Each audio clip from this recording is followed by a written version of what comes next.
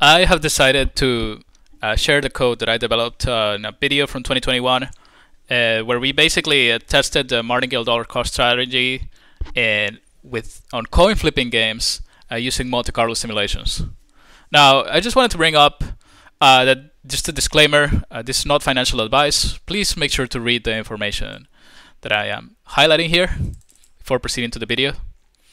Uh, I also wanted to bring up that this, of course, uh, notebook contains the material that I developed on a former video in 2021, which I've, I am linking to this notebook as well, uh, and a YouTube video that I'm making right now, of course, and all of those. Uh, the link to this notebook will be below this newer video description and the former as well. Now, to begin with uh, this notebook and the simulation uh, simulations we've developed, we of course start with the with the most uh, elementary and reduced uh, concepts, the basically lower level uh, fundamental building blocks we need for the simulation, which in this case will be, of course, the nature of the the coin flipping event itself and just a single coin flip. In here we define, you can see that we define a coin flip of heads with an outcome of heads as one and an outcome of tails as zero. And this is just so that we can basically use a continuous, not a continuous, a discrete uniform random simulation, random distribution with uh, zero and ones as the single numbers with equal probability of occurrence. Now, of course, this uh, function, which is a very simple function, really, uh, you can we can integrate it to to a deeper function. Uh, in this case, would be to actually two deeper, higher level functions. One uh, a martingale function and a no strat function. Both of these would basically be representing the betting outcome of a coin flipping game for a single player and the decision the decisions that he makes on that betting outcome. That means on whether he wins or loses, which actually is more critical for the martingale case. You can see that for the martingale case after, of course, a coin flip is run here with the former simulate with the former uh, function, then uh, the player has to make uh, make some choices, make some decisions here, right? So in this case, if he, you can see that the guess is actually an input call or an input variable, and the values that it would have would be also zero or one for heads or tails.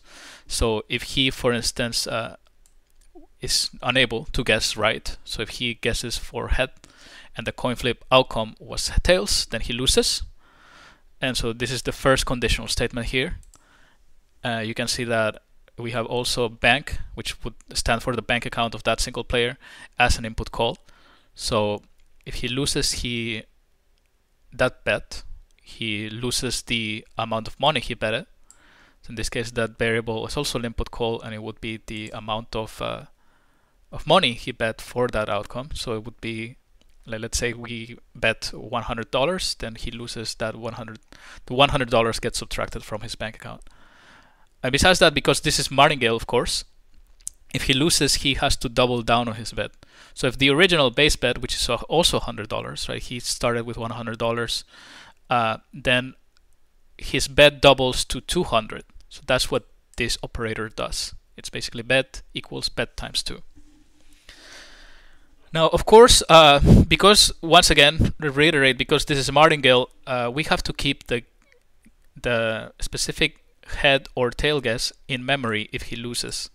And that can be done basically by generating, by setting up the the guess as an outcome or as an output uh, variable to the function. Right, so you can see that if he loses, then there's no redefinition of the guess variable, so it's basically uh, outputted to the to the function. Now, for the case that he uh, he wins, However, he guesses a random head or tail again, which is basically this line. He uh, also uh, the same amount that he betted is added to his bank account. So he bet one hundred dollars, and he starts with uh, one thousand. Then of course, uh, you know his bank account would be at one thousand one hundred dollars now for the next iterations. Uh, of course, also he doesn't double down on his bet because he won, and martingale strategy is basically strategy based on the decisions you make when you lose. And so, for the case he wins, he doesn't double down on his bet, and the memory for that guess for the winning guess is not retained. And that you can see of course from the first line as I explained. So the out the out I swallowed something. The out uh, output functions would just be the ending of the bank account the next guess here just represented as guess and of course the the amount of dollars for his bet whether it's double double down uh, for the losing case or not. And so that's basically it for this martingale function. Now for the case where you don't do not follow a strategy we also have to define a, a of course an, another function for it. And in this case uh, we're defining it as a no strat giving it a it's just defining the, the name of it. Uh, you can see that the properties from the losing conditional are no longer retained on this part uh, whereas the winning is basically the the conditions for the winning case are basically the same as martingale. As i mentioned this is a strategy martingale is a strategy based on lose on the on making decisions for the losing outcome. And so you can see that memory is no no longer retained for the for the losing guess because he just makes another guess here. Uh, he loses his money and he does not double down on his bet. As is as was neither the case for the winning case for the former martingale strategy. So you can see that this is basically how we define our two different strategies one of which does not follow martingale now, of course, we expand further then. Now we expand further then uh, to just defining no, not not a single coin flip iteration, but defining uh, multiple amounts of coin flip iter iterations. We can define here. We have defined here uh, 10,000 coin uh, subsequent uh, coin flips, one after the other uh, for a single player. And basically, what we are doing here in this function is we are uh, using these recursive definitions of bank account bank account balances and guess and guesses that you take uh, to propagate the betting strategy uh, over not over time but over the coin flip iterations that are that are necessary to fulfill the game until it ends. And so for every iteration, we are actually uh, appending the bank account balance after each uh, after each coin flip, and that is done just by we are just using this function, this list, to append all of those bank account values to, for the single player, and then we are returning that uh, same list as an output variable. Okay. Of course, uh, after we have defined this case for one player, uh, which uh, basically undergoes a game of several coin flips, we can expand it further even and incorporate not only a single player but multiple m amount of players if you like and track and store all the information from all the bank accounts as they evolve over the coin flip iterations for all the players that we are uh, defining in the game. So in case we want to like define 100 track the, the bank accounts for 100 players. We just have to define change this variable to 100. Uh, as you can see, uh, we are also using a list to store all the memory, and after from all the bank accounts of all the players. So that would basically because that is a uh, this is a bank account which propagates over the which is actually the historical bank account balance of all the of all the different players, this would actually make a two-dimensional uh, array or array structure. Now, because these are originally lists, this is actually a, a nested list. But to make things simpler and to be able to uh, extract some very interesting statistics uh, in a nicer way, we can just uh, you know uh, transform this nested array, nested list, sorry, into a two-dimensional array with a NumPy function, which is what we've done here. And so now what we can extract from this is just uh, we can, what I've done here is I printed out some statements for just uh, uh, printing out the final bank account balance, standard deviation, and and average for all 100 players in the game. So we can run this. Actually, I'll just run all of these functions up to this point. uh, run before, run after. Yeah, run before. And now we can start with actually our simulation. Simulation. So as I mentioned, uh, for the game for this game definition, game function, the first input call is the number of players. So we have to redefine that as n, and we have given it a value of 100, just simulating uh, the bank account history of 100 players, whether they follow the no strategy uh, strategy or the martingale strategy. And we are storing the the data of those bank accounts for both cases with different variables you see on these two lines. BNS for bank accounts, no strategy, and BM for those with Martingale. Right, so we run the simulations. And of course, because we told it to, to print out, uh, you know, these statistics, that's what the, the results will give out. So you can see that for the case where we do not follow a strategy, the average ending bank balance for all players is actually close to $1,000, which is actually the starting bank account for all 100 players, 1,000. Uh, however, the standard deviation for all players actually spans beyond 1,000 is $20,000, which actually leaves, it is understood that it leaves a lot of players in the red, so owing a lot, substantial amounts of money. Now, for the Martingale case, however, we get that the average ending bank balance is close to $1 million. For all players, as I, I reiterate, uh, all players start with a bank account balance of 1,000 from going, so going from 1,000 to 1 million is, is impressive. Uh, the ending standard balance, the ending bank account standard deviation is also relatively high.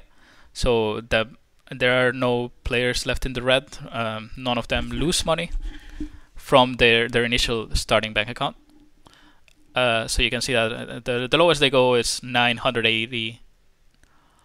The lowest outcome is $980,000, which is not bad.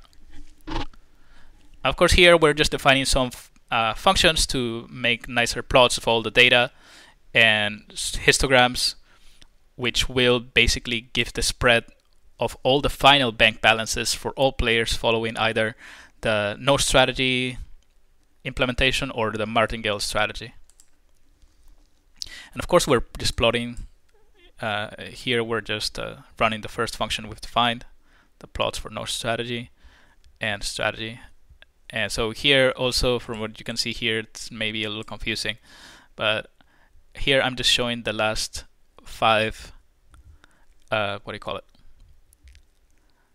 The bank account balances of all players uh, on their last five coin flip iterations. So you can see that a lot of players in the end for the nodes when they do not follow the strategy, there's a lot of players left in the red. I mean, you can see negative. This would indicate negative dollars. So a lot of them are indebted, end up being indebted. Whereas for the case of Martingale, um, we none of them are actually left in the red. This label 10e to the 6 actually stands for 1 million, so this is in units of 1 million. A lot of them are actually have accounts that are oscillating $1 million. As I mentioned, the lowest actually is $940,000 for the one who earns the less amount of money. So there's no players that actually lose. Now, if we want to just show the whole spread, starting from the starting from the beginning iteration to the end, this is what it would look you can see that for the no when you do not follow a strategy, uh, it starts very nicely, and then there's players spreading out towards very negative bank account balances. Whereas for the case for the Martingale, we do see some very interesting also occurrences. We see a player actually that at some point or another, a single player, uh, had to bet more than 10, yeah, like actually around uh, 50, 50 million dollars. At some point or other he had to bet what he didn't have. So this minus indicates for owing for debt. So he ended up going that far because as i mentioned this martingale strategy had doubles down every time you lose. So he must have lost substantial amount of times consecutively to double down on his bet that much. These are strange occurrences but they still occur even for a sample size uh, as small as 100 players and iterating over 6,000 simulations, right? So you can see that this is a, uh, though it seems that it's a robust strategy, uh, it is highly risky strategy, especially if you know you do not have the really for players that do not really have, and I'm just talking, of course, in a very educational, theoretical sense, uh, for these theoretical quote unquote players, because I don't would not want to, to, to look like I'm talking about real life, of course. As I mentioned, not financial advice. Um, yeah, so those really simulation players that do not have the heart to bet on that much, then it's not not a good strategy really for them. Moving on to the next, uh, the final, final really uh, plots that I have here. Uh, of course, as I mentioned, I also developed a histogram function uh, to plot the final bank account balances of the 100 balance of 100 gamblers uh, from the betting using the different type of betting systems. The betting system with a which does not have a strategy or random chance. The first one, you can see that as I mentioned, there's a lot of them that are left in the red. You can see it here. The kurtosis is relatively low. However, um, for the case where players that are following martingale, yeah, you have a narrower uh, distribution, very nicely, uh, relatively uniform and centered around one million dollars. Of course, if we wanted to uh, plot this together, we can do so. You can see that the label here stands for 1 million in units. So it goes from $0 million to $1 million. And martingale strategy, you can see the very, very large wide divide between between the strategies at the, the end of the bank balances. So with that, I would like to end my video. Just wanted to bring up again, reiterate that this is not financial advice and and if you also like my video, please give it a thumbs up. If you really like my content, please don't forget to subscribe. And and that would be it. I will be placing the links to the notebook and associated material below the video description. Thank you.